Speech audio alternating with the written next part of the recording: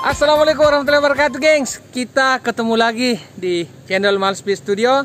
Biasa channel yang paling kepo se-Jakarta Raya. Mungkin saya berada di hutan pohon sagu ya Di daerah Kabupaten Kolaka Utara. Karena hari ini gengs Saya ingin kepoin bagaimana masyarakat di sini Itu mengolah pohon sagu menjadi sagu Yang biasanya kita konsumsi setiap hari. Nah, hari ini gengs, saya sengaja datang di sini. Eh, kita akan sama-sama melihat seperti apa proses dari pengolahan sagu ini. Mulai dari bagaimana pohonnya ditebang sampai diolah menjadi sagu yang siap untuk dikonsumsi. Jadi, temani saya di vlog kita kali ini ya.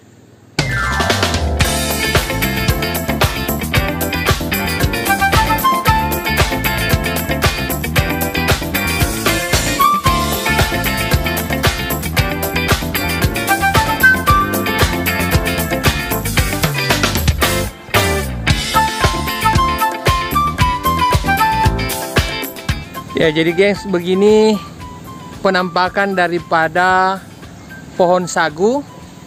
Nah, Saya ada di tengah-tengah hutan atau kebun sagu Di daerah eh, apa Kolaka Utara. Dan di sini masih masih sangat subur gengs. Ya gengs jadi saya bersama eh, Bapak yang mengolah sagu di sini. Kebetulan beliau hari ini cuma sendiri. Biasanya menurut beliau bagusnya untuk mengolah sagu itu butuh 2 sampai 3 tenaga kerja, gengs. Minimal tiga orang katanya. Tapi eh, hari ini beliau hanya sendiri, jadi ya tidak tidak secepat kalau eh, pengelolaannya itu lebih dari tiga atau empat orang.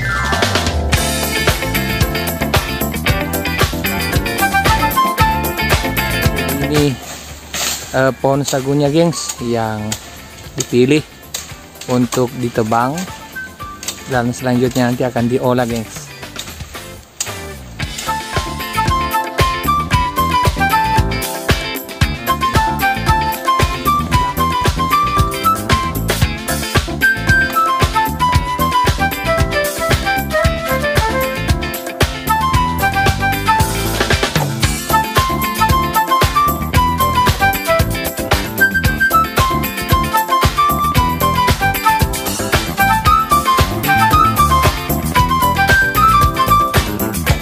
di belakang saya gengs. Bapak sudah action. Dan memang membutuhkan waktu yang relatif lama karena beliau hanya menggunakan kampak gengs. Beda kalau menggunakan gergaji mesin seperti biasanya. Namun karena gergaji mesin beliau lagi bermasalah jadi beliau putuskan hari ini uh, menebang pohon sagunya dengan menggunakan kampak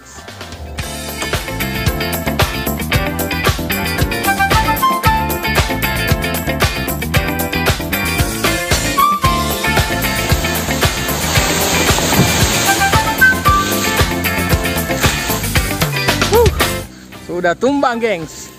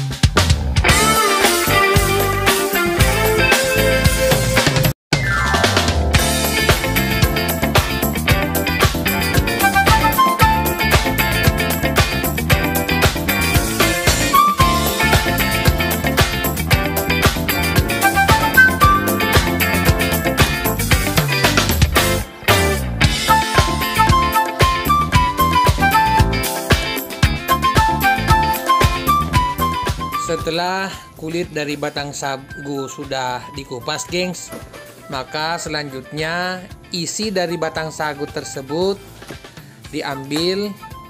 Untuk selanjutnya nanti akan diparut eh, menggunakan mesin parut yang sudah dimodifikasi. Jadi mesin parutnya ini sebenarnya mesin parut yang biasa digunakan untuk memarut kelapa. Namun eh, sudah dimodifikasi untuk khusus memarut dari batang atau isi batang sagu gengs